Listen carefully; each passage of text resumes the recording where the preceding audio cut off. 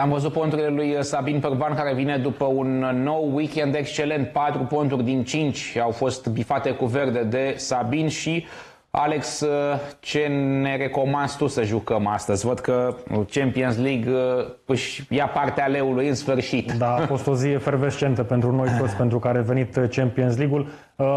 M-am oprit asupra lui Beşiktaş nu cred că o să piardă grav Beşiktaş pe terenul lui Ajax. Ajax are o cotă în jur de 1 și 12, 1 și 14 la victorie. Mi s-a părut tuturor incredibil cât de mică este această cotă, dar totuși nu cred că olandezii vor face, vor face scor. Cota e senzațională pentru cel mult 3 goluri în meci.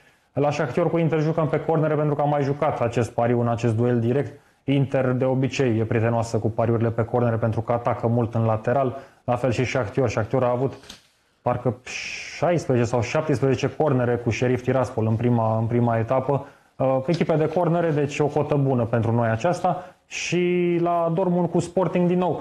Mm, Sporting o să încerce să apere remiza aici, o să încerce să reducă tempoul cât de mult poate și s-ar putea să se intre cu un scor mic la pauză, caz în care sub 3,5 este o soluție bună. La Milan cu Atletico tot caut uh, pariul ideal pentru mine, pentru că acel X2 mi se pare că are o cotă mică. Aș lua totuși sub 2,5 goluri. Uh, spuneam de, de Milan că nu mă impresionează în apărare, dar e drept că ei nu prea au primit goluri în acest sezon, dar au jucat cu echipe modeste, adică singura echipă cu adevărat bună cu care au jucat Lazio, într-adevăr, au bătut-o cu 2 la 0, dar în rest e ceva ezitant în jocul echipei lui Pioli și totuși cred că acum se va juca cu atenție sporită. Deci la Milan cu Atletico chiar aș risca un scor corect 1 la 1, o cotă de 7 pentru acest rezultat. Da, hai să vedem și celelalte ponturi propuse de colegii noștri, Bobby Marius, Costin Idelea, Ianis Eusebiu, Tudor uh, Daniel și Vlad Darhire. Bobby ne oferă două ponturi din hockey, derbiul moscovit dintre Dinamo și Sparta, unde merge pe unul solist la o cotă de 1,55 și Red Star cu un luni Vladivostok, gazdele să marcheze minimum 3 goluri, o cotă de 1,54. Uh, o să vedem și uh, ce ne propun. Uite, Costin Idelea, PSG, Manchester City, pauză sau final X, cotă 1,70 și uh, Atletico, Milan Atletico, aici interesant pontul lui, uh, oarecum uh, în uh, opoziție, oarecum doar, uh, cu ceea ce vorbeam noi mai devreme, ambele marchează sau peste 2,5 goluri, cotă 1,65. E genul ăla de meci unde e foarte important ce alegi GG-ul sau 3+, plus, pentru că e o diferență mare de scenariu între cele două pariuri.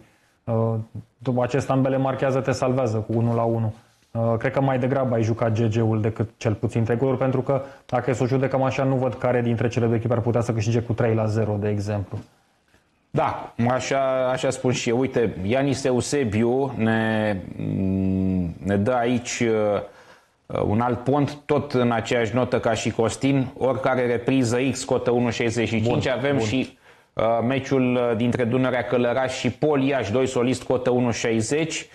Și o să vedem ce ne mai propun uh, Tudor Daniel. Uite, uh, Tudor uh, vine cu două ponturi la PSG Manchester City, Mbappé, un șut pe poartă, măcar cotă 1.50 și Grilish și el tot măcar un șut pe poartă, dar la Grilish am ceva rețineri eu.